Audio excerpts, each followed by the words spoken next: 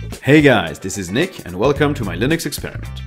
So, for those who have used Mac OS 10 or Windows 10, you know how useful it is to have a quick launcher you can use to search for files, folders, programs or do quick calculations. You might be used to Spotlight on Mac OS 10 or Cortana Search on Windows 10. Well, on Linux, there are a few choices available such as Synapse, Launchy or GNOME Do, but the one that integrates best with Elementary OS is Albert, so let's see how to install that. Installing Albert. This is an easy thing to do if you've ever followed one of my videos. We just need to add a PPA. If you've never added one, just open a terminal and type sudo apt install software-properties-common. Hit enter, enter your password and you're good to go. Now we need to add the PPA, which is the repository where Albert is located. Just type sudo add-apt-repository and then the name of the PPA as it's showing on your screen now. Don't worry, all the commands will be in the video description. Press enter, then enter again to confirm.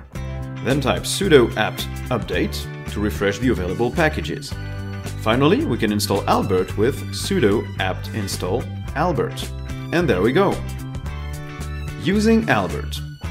You can launch Albert just by opening it like any other app. At the first start, it will prompt you to set up a keyboard command. I decided on Control plus space, but you can set that to anything you like, even Super plus space, to replace the default command for opening Elementary's app menu. You'll also be able to change the theme. There are a lot to choose from, and I mean a lot. From Arc themes to Numix themes to Mac-like themes, you get to choose what it looks like.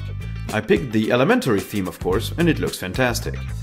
By default, Albert does not have any plugins activated, which means it won't return any results. Head to the Extensions tab to choose what to index and search.